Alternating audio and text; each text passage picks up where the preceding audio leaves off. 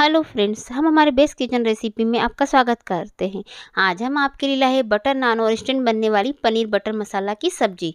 नान बनाएँगे हम, वो भी बिना बेकिंग पाउडर, बिना सोडा, बिना दही के सुपर सॉफ्ट होटल और रेस्टोरेंट जैसे ही नान बनकर तैयार होंगे। इसी के साथ हम बनाएँगे इंस्टेंट पनीर बटर मसाला की सब्ज़ी। चलिए, अब हम झटपट से वीडियो स्टार्ट करते हैं। सबसे पहले हम बनाएँगे नान। नान के लिए लगाना है डो। एक बड़ा बाउल ले ले। इसके अंदर थ्री टेबल स्पून डालें देसी घी। आप चाहे तो तेल भी डाल सकते हैं। और इसके अंदर डालेंगे वन टीस्पून कसूरी मेथी two tablespoon milk powder और साथ में ही डालेंगे टू टेबल स्पून पीसी हुई शक्कर। मिल्क पाउडर और से बहुत ही सॉफ्ट नान बनकर तैयार होते हैं। इसे आप ज़रूर डालें और स्वाद के अनुसार नमक डालें। और इसके अंदर डालेंगे हम आधा किलो मैदा।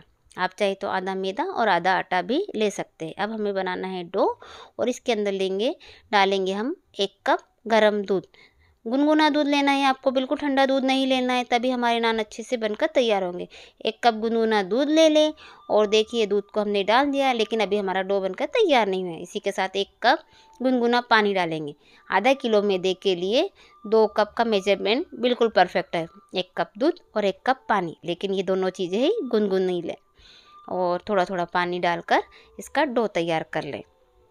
इसे आप चाहे तो पटक पटक कर भी इसका डो तैयार कर सकते हैं और लेकिन मैं इसे इस तरह से मसल मसल कर डो तैयार कर रही है।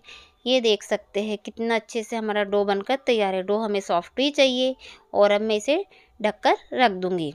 एक कप पानी लगा और एक कप दूध लिया। अब हम बनाते हैं इंस्टेंट ग्रेवी एक कढ़ाई को मैंने गैस के ऊपर रखा। इसके अंदर डाला है टू टू टेबल स्पून तेल तेल जब गर्म हो जाएगा तब हम डालेंगे इसके अंदर साबुत मसाले। वन टीस्पून जीरा, दस बारह काली मिर्च, एक बड़ी इलायची, दो इंच दालचीनी का टुकड़ा, तीन हरी इलायची और चार लौंग।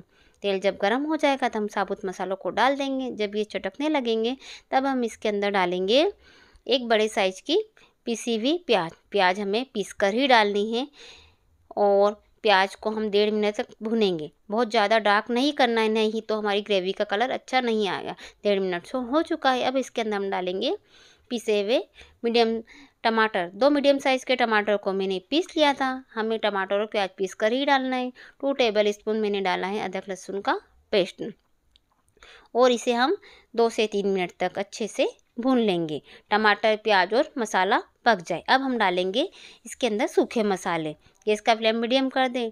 डेढ़ चम्मच मैंने डाला है डेढ़ टीस्पून कश्मीरी लाल मिर्च का पाउडर और टू टीस्पून डाला धनिया पाउडर, हाफ़ टी स्पून डाला है हल्दी पाउडर और नमक डाले स्वाद के अनुसार।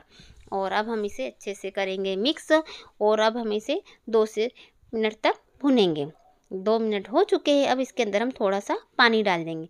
पानी डालने के बाद इसे अच्छे से मिक्स कर दे और इसे तीन चार मिनट के लिए कवर कर कर रख दे। तीन चार मिनट हो चुके हैं।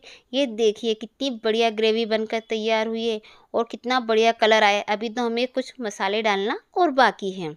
और इसे अच्छे से मिक्स करेंगे। देख सकते हैं कितनी अच्छे से ग्रेवी बनी है और अब इसके अंदर डाल रहे हैं हम हाफ़ टी स्पून गर्म मसाला और टू टेबल स्पून डाल रहे हैं मलाई। मलाई डालने के बाद देखिए ग्रेवी का कलर बिल्कुल चेंज हो चुका है जैसे कि आप अक्सर बाहर होटल में खाते हैं। और थोड़ा सा पानी डालेंगे और इसे हम अच्छे से करेंगे मिक्स ताकि गरम मसाला पक जाए। और देख सकते हैं कि कितना बढ़िया सा कलर आया और हमारी ग्रेवी बनकर तैयार है। दो तीन मिनट उसके बाद मलाई डालने के बाद भून ले और इसे गैस बंद कर दे और इसे एक बाउल में निकाल लिया है। ये इस ग्रेवी को आप स्टोर कर कर भी एक महीने के लिए रख सकते हैं। जब भी आपको कोई सब्ज़ी बनाना हो तो आप फटाफट से निकालें और बना लें।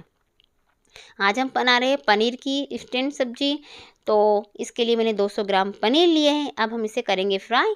टू टेबल स्पून डाला है मैंने बटर। और वन टीस्पून डाली है मैंने कश्मीरी, कसूरी मेथी और अब डालेंगे हम पनीर।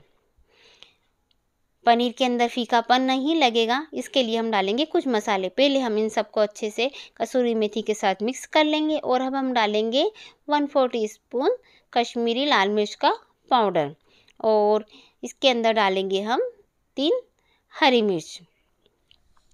और इसे, इस स्टेज पर मिर्च डालने से बहुत ही अच्छी पनीर की सब्ज़ी बनकर तैयार होती है और थोड़ा सा डालेंगे नमक। नमक देखकर ही डालें क्योंकि हमने ग्रेवी के अंदर भी नमक डाला है और इसे अच्छे से फ्राई कर लिए दो मिनट तक पनीर को फ्राई करना है ताकि इसके ऊपर की लेयर थोड़ी क्रिस्पी हो जाए। और अब हम, ये पनीर फ्राई हो चुके हैं, अब हम इसके अंदर डालेंगे ग्रेवी है ना? बिल्कुल आसान रेसिपी इस तरह की ग्रेवी आप अंडा कड़ी के लिए भी कर सकते हैं मिक्स वेज के लिए भी कर सकते हैं।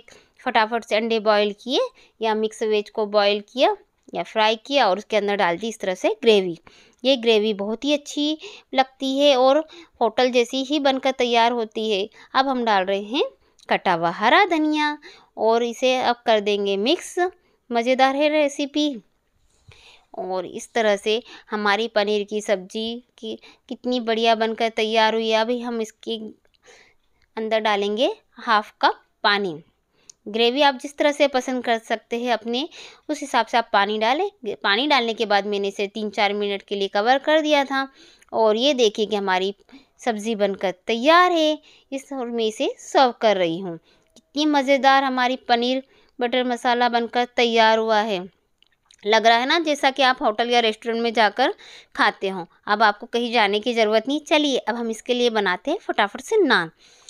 ये देखिए, डो हो गया तैयार। अब मैं इसे एक बार और मसल मसल कर चिकना कर लूँगी ताकि हमारे नान बिल्कुल अच्छे से बनकर तैयार है। ये देख सकते हैं कि डो बिल्कुल परफेक्ट है। अब हम बना रहे हैं इसके लोए। लोए आपको बड़े साइज़ के बनाना है। आधा किलो में आपके आठ नान बनकर तैयार होंगे। इस तरह से मैंने सारे लोए तैयार कर लिए अब मैं लूँगी एक चकला और एक लोया। लोहे के ऊपर लगाएँगे हम सूखा आटा और इसे हम अब बेलेंगे। इस तरह से आप इसे बेल लें मैं ओवल शेप में नान बना रही हूँ। ये देख सकते हैं कितनी आसानी से बेल लिया मैंने और अब हम इसके ऊपर लगाएँगे पानी। पानी इसलिए लगाते हैं ताकि नान तवे पर चिपक जाए। और ये देखिए मैंने पानी लगा लिया। अब हम एक लोहे का तवा गर्म होने के लिए रख दिया है और मैंने नान को डाल दिया पानी वाली साइड से आपको नान को तवे के ऊपर डालना है। ये बबल्स आ चुके हैं। अब हम इसे पलट देंगे। तवा आप लोहे का ही ले। नॉन स्टिक तवे में नान निकल जाएगा। और इस तरह से आप इसे सरका सरका के गैस के ऊपर हाई फ्लेम पर इसे कर ले। देखिए, नान हमारा बन चुका है और मैं इसे इस तरह से निकाल लूँगी।